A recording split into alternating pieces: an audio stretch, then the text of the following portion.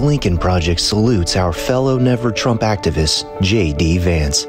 He led the way in opposing Trump in 2016, even calling Trump our Hitler. J.D. Vance speculated that Trump might be America's Hitler. Trump is the fruit of the party's collective neglect. I go back and forth between thinking Trump is a cynical a hole like Nixon or that he's America's Hitler are you a racist? JD joined John Kasich as the only major Republicans in Ohio to vote against Donald Trump in 2016, and he boldly told the truth about Trump voters. We are, whether we like it or not, the party of lower income, lower education white people. Trump is cultural heroin. Fellow Christians, everyone is watching us when we apologize for this man. JD Vance is a multimillionaire big tech banker with a degree from Yale, our kind of candidate. He gets it. J.D. Vance for Senate, the Lincoln Project candidate.